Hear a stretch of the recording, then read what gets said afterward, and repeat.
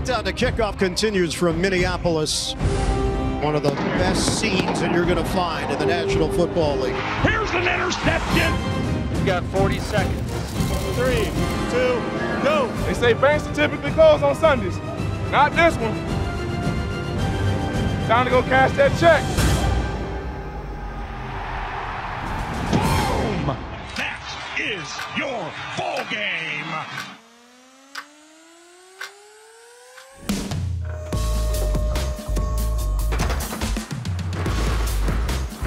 My name's Adam Groney, assistant equipment manager here. Right now it's Saturday morning, we're just loading in. This is where we unpack, get the locker set up. So tomorrow morning when we come in, we just basically open up the doors and everything's ready to go. You want this back up, Andrew? Right now the team is in team meetings, different meetings, and then they'll have a walkthrough later this morning. So the equipment we have right now is basically everything that they don't need for practice or for a walkthrough. We'll have two loads today coming from our practice facility, TCO. There's a handful of teams that are right in their stadium, but we're not at our facility like some teams. So every game for us is a road game. What do you want to do with Just leave it, leave it up on top there. Yep, just like that.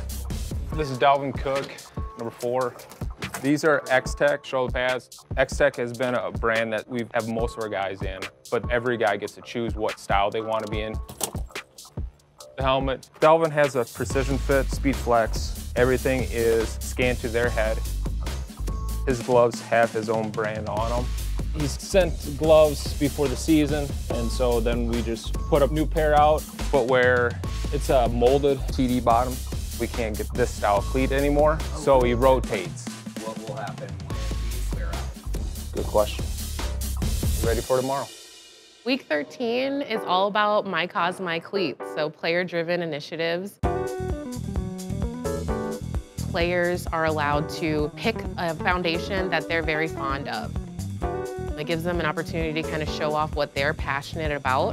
It's a really long process. It starts in about July. Players select their cause, and then they work with the equipment staff to start breaking them in.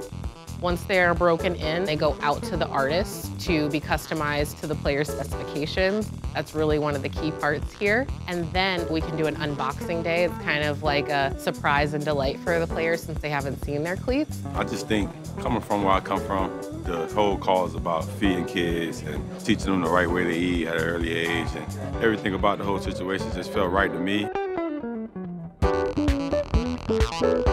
The big thing about My Cause, My Cleats is the players actually wearing the cleats in game. So not only do the nonprofits get to be shown off on a national stage, they also receive those cleats to auction off for charity. They're able to raise great amounts of money. Dalvin has had some of his best games in our cleats, so we're very fortunate that he has chosen the Minnesota Vikings Foundation year over year. Touchdown! Dalvin Cook!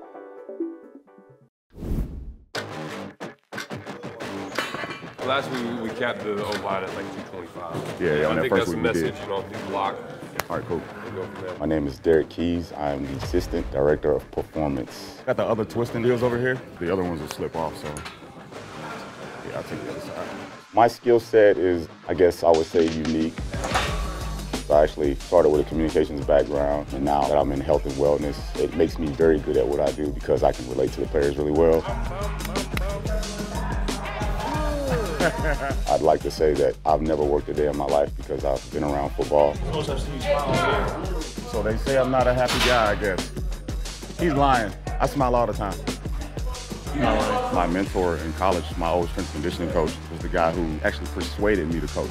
And once I jumped on it, I never looked back. we have a development group, which are our players that aren't active. We're getting the guys who potentially could play. We're working on their development from a training standpoint. Hey, I know a lot of you guys, especially some of the skill positions, you guys are doing a lot of work on the field, a lot of running. With that being in mind, new lift, new exercises. Today's just about laying down a good week, and then we can build it from here. Right now, because we've done two, three workouts already this week, we're just gonna work on our unilateral movements and our auxiliary lifts. Band work, core exercises. We're gonna be doing like a rear foot elevator squat today, which is gonna be our primary lift. Hey, uh, so you and uh, Mercedes, y'all with me, and y'all gonna do the active roster lift. I'm basically responsible for strength and conditioning, rehab, return to play. Football is a combat sport. Guys are physically putting their bodies on the line every week. So for us, it's how do we get these guys turned over quickly to be able to perform at their best. Whether you're a player or coach, we all wear the same colors. We all walk out with that same emblem. We win together and we lose together. Why can't be 20? Right now, what we're doing is we're setting up the weight room where the Mondays live. We always prep uh, like a day ahead, a couple days ahead, and then afterwards we'll set the bags up and everything to get ready for the game. Our bags have tags on them, so we'll have two for the hotel and then two for the stadium. We need four. We only have four. We had five. Basically, it's everything for our soft tissue work. So it'll be, you know, foam roll, golf balls, lacrosse balls, our ultimate goal is to make sure that we're primed and ready for the game, but that we don't overstimulate them before the game. So we take our time, it's methodical. After that, they're rocking and rolling.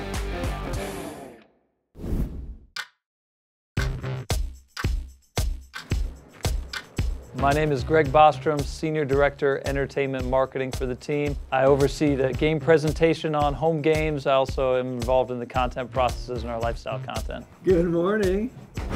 Arthur Koo, star of the show right here. On game days, I'm responsible for making sure that all the moving parts come together for the entertainment that goes into a Vikings home game production. This will be the spot for game days, but I get to sit next to the important people. We've got PA announcer, DJ, first and 10 line over here, audio crew right here, and then a co-executive producer who, who's more on the tech side right here. It looks like five truck cameras. And then can you verify that Skycam is coming out of 12? I cared about this team well before I ever worked for them, so when an opportunity opened up to do entertainment for my favorite football team, it, it truly was too good to be true, and I, I never take that for granted. There are only 32 people that sit in the chair I get to sit in on game day, so I take a lot of pride in that work, and frankly, I know that there's 200 plus people in the production that are doing the same thing. Kind of our standard timing here, the team clearing the field 24 minutes prior to kickoff. Roach with the welcome PA. He'll talk about my cause, my cleats. One thing fans might find cool or surprising about my job is just the level of detail that goes into the pre-production and planning. 24 hours leading to the kickoff is when I get to start buttoning up all the, the last elements of game day. Usually staying up late finalizing details, printing production formats in the wee hours of the morning, heading home, getting a few hours of sleep, and then on to the stadium by about 6 a.m. And at that point, I'm really just a communicator. I'm communicating what the plan is for the day, why everybody's role is important in what we're trying to accomplish. Truly, at any given time of the game day, down to the second, I should be able to tell you what's going on. You'll see on line 41 and 42, Cleat Cam. So this is a font look coming from Arthur. That's about it for page four. We can go to page five. When fans come to a game, we want them to have an experience. We know there's a football game that's going to be played. That's the main reason people come. We want it to be so much more than that. We want you to feel something when you're at a game, feel like you're part of a community, feel like you are impacting what happens on the field. I'd say when I look around at all the different stadiums that I could be working with, I, I truly feel that US Bank Stadium is the best equipped for an incredible game experience. Hey, good morning, everyone. Good morning, good morning, good morning, good morning, good morning, good morning. How you doing? John Drum, General Manager, ASM Global. We're the management company here at US Bank Stadium. It's a state-owned facility, and we operate it on behalf of the state. The overall stadium is over 1.75 million square feet. A lot of real estate to oversee and maintain. It's been a busy last 18 days for us. Cousins looks left, throws to the end zone, touchdown! In addition to three Vikings home games, our first ever Thanksgiving night game here at US Bank Stadium, we've also played 21 high school football games. The championship games finished up late yesterday afternoon, and so now we're going from the high school kids that, that celebrated to the professionals that will be out here today. High school football actually uses a uh, wider crossbar. So last night we lowered the goalpost down, switched them out to the NFL style. And then we have nine man lines, two Prep Bowl logos, and the high school hash marks that have to be removed overnight. For static, obviously, heating the building, the humidity is going to be very low. We spray a surfactant on the field, which knocks the static off and allows the rubber to settle down and give us a nice clean look for game day. Structurally, some of the great things that we've got uh, our ETFE roof. So our whole south side is a clear plastic material that lets in an awful lot of natural light. So on a day like today in December, being able to be inside in comfortable conditions, enjoying a Vikings game day with natural light, it really gives this feeling like you're outside even though you don't need to be bundled up.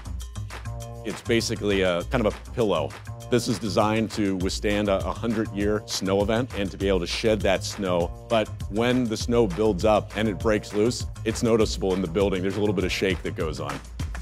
Temperature outside right now is 11 degrees. It will continue to warm up throughout the day, but it's going to be a chilly arrival when the doors open at 10 a.m. One of the things to make sure it's a great fan experience is to maintain a comfortable temperature inside and being a dome stadium, that's one of the major benefits of this venue. So we're gonna go ahead and check out the steam room. Ed, go ahead. We get upwards of 250 pounds of high pressure steam coming into the building. That steam is then converted over into our glycol system. We have five pumps here that actually take that glycol, pump it through the building into all of our air handler units. So we have a total of 53 air handler units, 30 of which just handle the bowl. On a day like today where it's really cool outside, really cold, we will heat the building to a certain point. As folks are coming in the building, we will actually allow the building to cool down and then the natural heat that people bring in and radiate during the game will then warm the building back up again. So we don't want to overheat the building because then when we get 66, 67,000 people in here, it's too warm. The field level right now is going to be sitting around 66 and a half degrees, all the way up to the catwalk, which would be about 71. So somewhere in there, we're about 67 and a half, which is exactly where we need to be. Let's go 50. 30 is a little light. 51. 51 sounds perfect. We're changing the size of the snowflakes now, so trying to find the right balance. This is max, and this is too much snow. But you can see what they can do. There are 55 snow machines around the building. These machines here coming out of the air circulators is version two of the snow machines. So last year we installed 25 of them permanently up top. The trick was to look around here and be like, there's 66,000 people here. How many can we get snow on? I don't know that number, but it's a pretty good percentage of the stadium at this point. Every single home game at the at US Bank Stadium is fun and unique. I think for week 13 against the Jets, we're expecting a really good matchup. We're expecting fans to be hyped up and lively. And, and as always, the showtime sequence pregame is one of the main things fans can look forward to. This is the Skol drum. So if, have you ever seen a hand-carved wooden drum before? If not, let me introduce you to your first one. Joel here is the head of the Skol line, and his brother Jay is the lead drummer for the Skol chant. I gotta get my pose.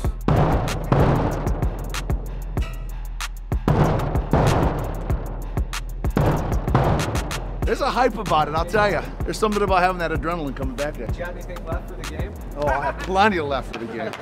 What changes is when you got all the fans here.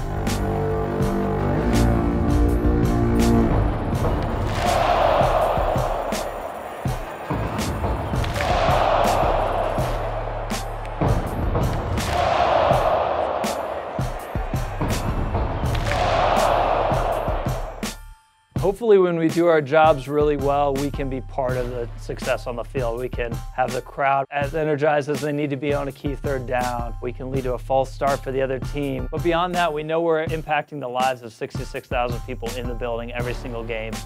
Whether or not the team wins, people will remember how they feel on that day. And a lot of those are lifelong memories. I have lifelong memories sitting in the Metrodome with my dad and with my family. So I know the impact that we're making on people's lives. So here you go. Here's the guys that actually make it all happen. Griff, you should show these guys the inside of the ship before it gets going here.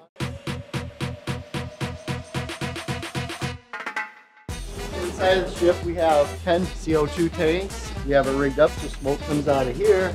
And then also, we have a dragon head, which is folded down. Once we get it out of here, we get on the field, we'll put that dragon head up. The eyes light up, and uh, yeah, it's quite a show.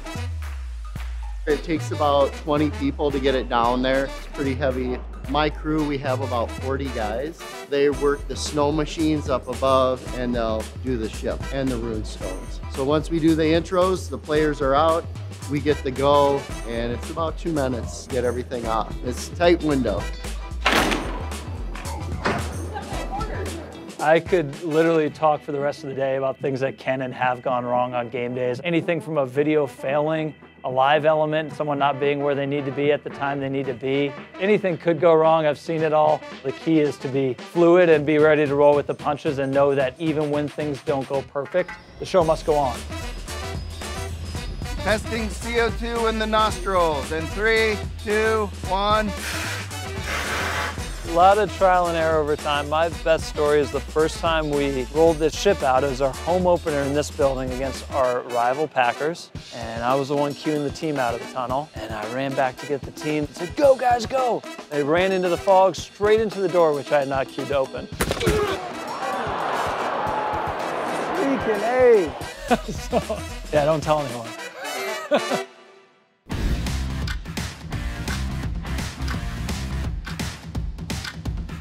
My name is Andy Kenutis, and I'm the team photographer. The simplest form, I take photos, anything related to the Minnesota Vikings team. Game day action, that's the main thing I think people would see is the action shots from the field. But I also cover a lot of behind the scenes moments with the team. Ah, appreciate it.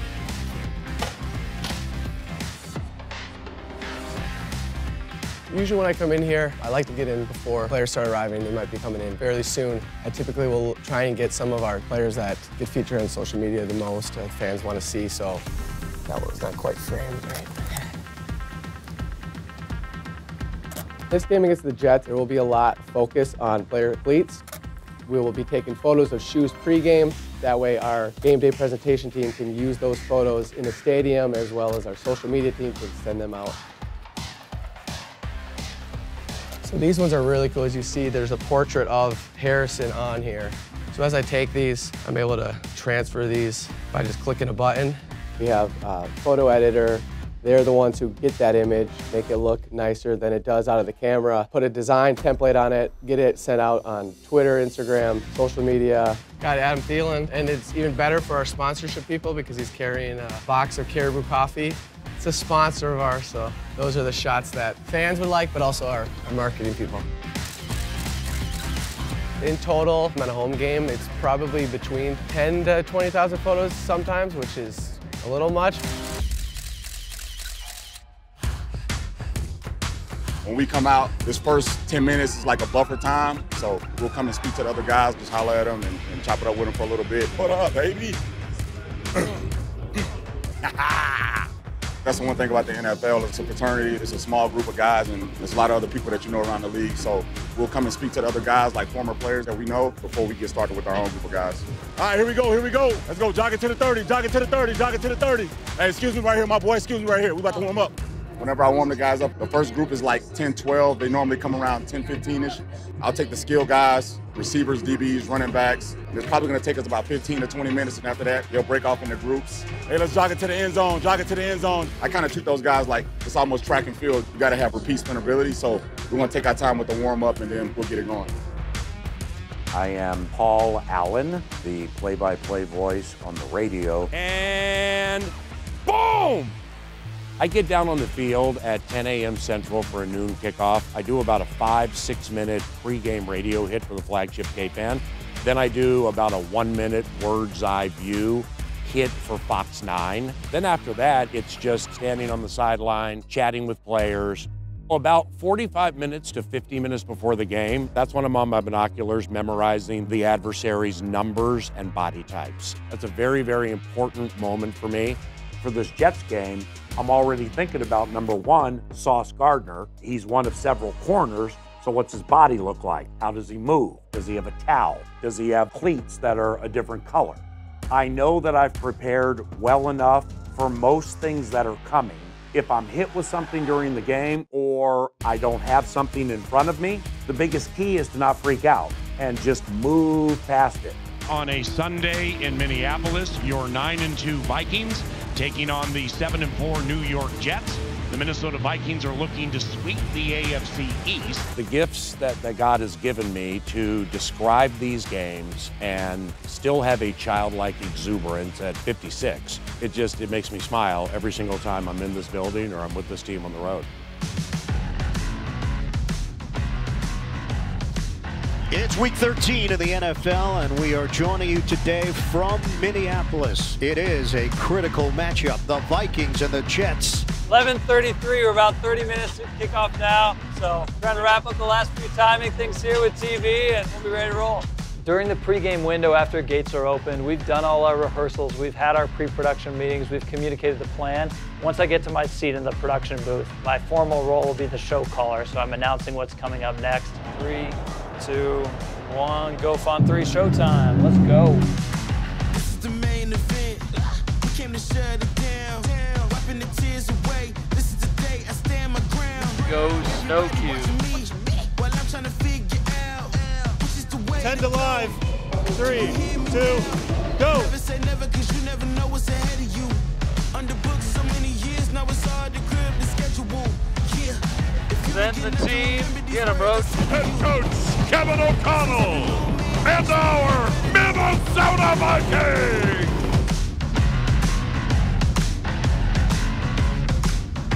Coffee gets you through the game for sure. This is Cup 3, which is child's play for me. And the adrenaline is crazy. It's after the game. The adrenaline crash, the coffee crash. On behalf of all of us, we welcome you to a Skol Chant Sunday. The pregame sequence is so integrated. There's so many people that are doing their job simultaneously for it to go off without a hitch. There's timing with TV. There's timing with NFL rules. When we do kick off on time with a thunderous applause from the crowd, and now the team gets to take over and do what they've been preparing for, there is always a feeling of a job well done. Kickoff song to kick off. Great work, everybody. Let's go get a win.